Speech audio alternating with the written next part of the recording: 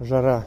Как замечательно зайти в магазин и купить себе грузинский напиток зандукелли. Вот лимонад какой-то. Что здесь у нас? Напиток безалкогольный, газированный, со вкусом... Со вкусом... Со вкусом сливки. Ну, надо грузинские напитки читать даже. Со вкусом сливки.